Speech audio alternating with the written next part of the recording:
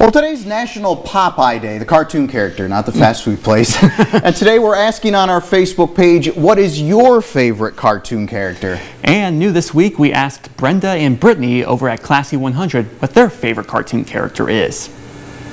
Hey Brian, hi Jacob, happy National Popeye Day. Eat your spinach, kids. And eat some from me because cooked spinach, I'm not going for it. me neither, me neither. but props to you if you can actually do that. And growing up, my favorite cartoon character was SpongeBob, and it still is.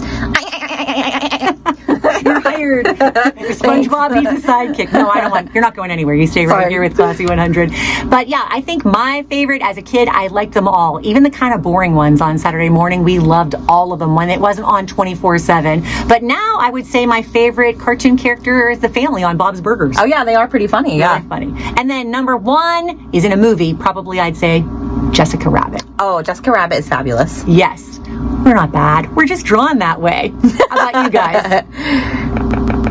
Well, thank you for that. Yeah, some of those I wasn't expecting SpongeBob from her or Bob's Burger, but I guess you know some of the more recent ones.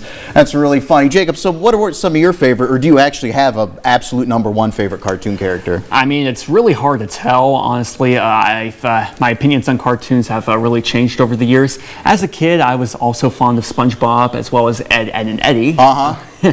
Nowadays, I think I would have to go with uh, Prince Zuko from Avatar: The Last Airbender. Uh, amazing character arc. I'm not going to lie, I've never heard of that. you're missing out. yeah, some, when that, that question is kind of, you can interpret it different ways about who your favorite cartoon character is. Because I, when I think of cartoons, I think of actual shows and entire casts of cartoon characters. Of some of the ones that come to mind when I was little, there was a uh, DuckTales was one, uh, James Bond Jr. was another one. Um, SpongeBob didn't. I, I, think I was in middle school by the time that was popular, so I, I didn't really watch cartoons then. But yeah, Ducktales.